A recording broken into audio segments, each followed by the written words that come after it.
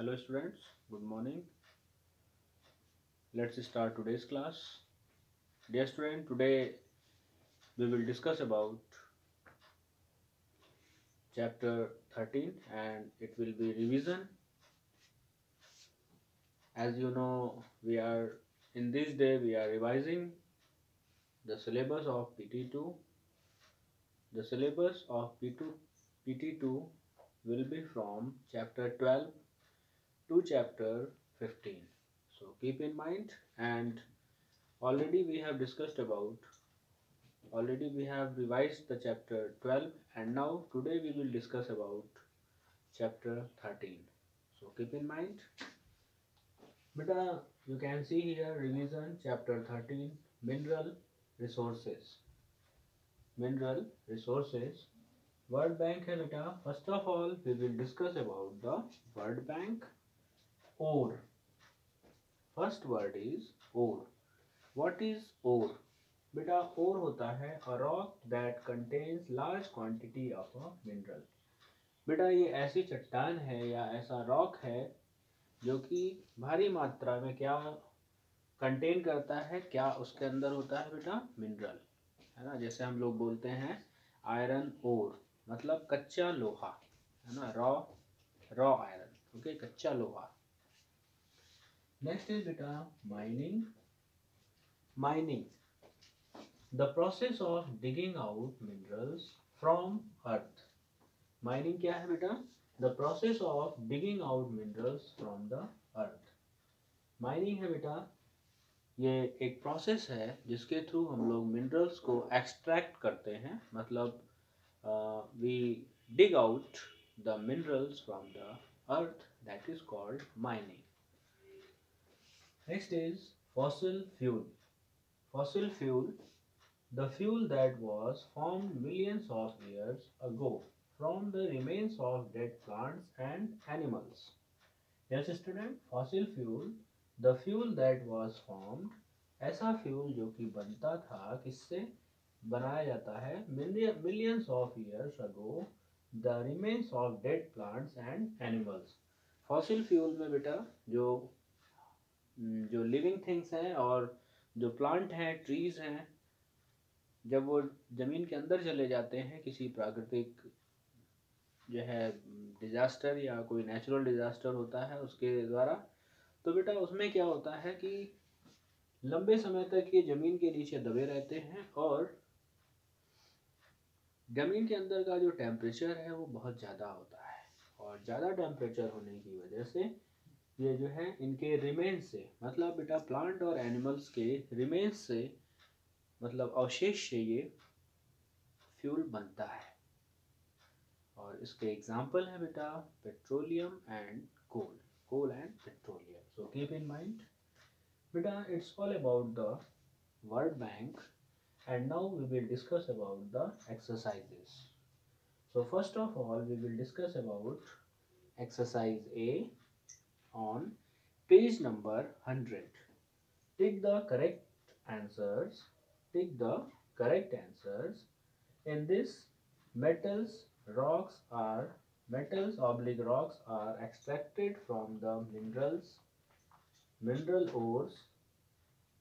Next beta, natural gas is used as a fuel. Beta first one is dash are extracted from the minerals or mineral ores. Mineral ores जो है बेटा किससे extract होते हैं? किससे निकाले जाते हैं? वो निकाले जाते हैं बेटा किससे? That is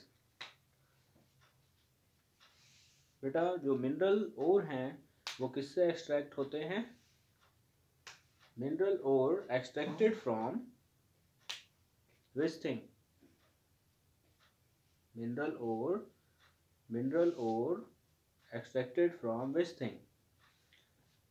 Beta min mineral ore are extracted from metals.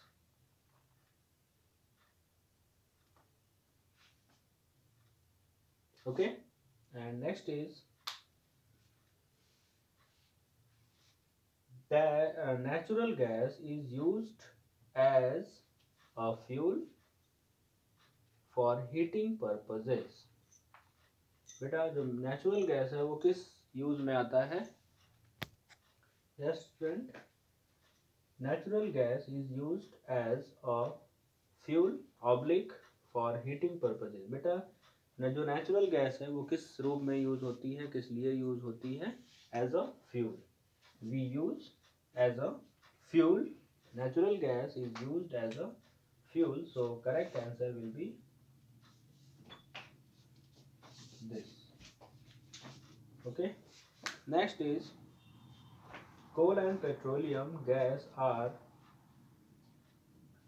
option में है बेटा fossil fuels and precious metal fossil fuel है ऑप्शन में बेटा और प्रीसियस मेटल है. Coal and petroleum gas are fossil fuel oblique precious metals coal और petroleum बेटा ये ये फॉसिल फ्यूल होते हैं या प्रीसियस मेटल होते हैं? You have to tell coal and petroleums are fossil fuel okay? Coal and petroleum gas are fossil fuel. Next is India has one of the largest deposits of dash mica or copper. What will be the correct answer? Mica or copper. Mica or copper. So answer correct answer will be mica. Yes student, India has one of the largest deposit of mica. So keep in mind. Next is fill in the blanks here you have to fill the correct word in the blank area so let's start minerals can be divided into dash and dash beta minerals beta किसमें किसमें divided होते हैं metallic and non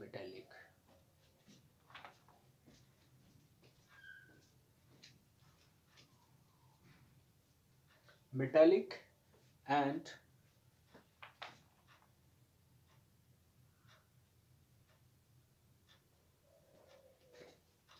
metallic and non metallic and non-metallic minerals. Next is beta non-metallic minerals.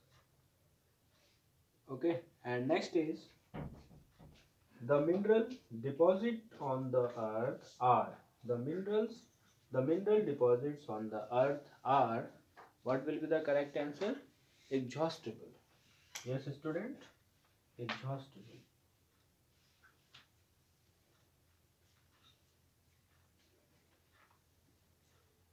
Exhaustible, okay? Next is metals are extracted from dash minerals बेटा, जो metal होते हैं, वो कहाँ से एक्सट्रैक्ट किए जाते हैं? और ऑफ़ मिनरल्स है ना? Ore of minerals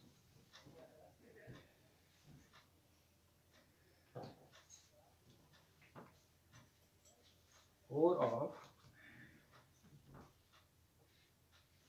ore of mineral. Ore of a minerals correct answer will be ore of a mineral next is two examples of non metal non metals are metal के बेटा to example कौन कौन से हैं metal के coal and petroleum coal and petroleum okay next is dash iron is used to make steel. Dash iron is used to make steel. Answer will be pure. Pure iron is used to make steel. So my dear student, by this we have completed the revision of chapter 13 and now in the next video we will see the revision of chapter 14. Okay, so keep in mind, be careful about your health. Thank you. Have a nice day.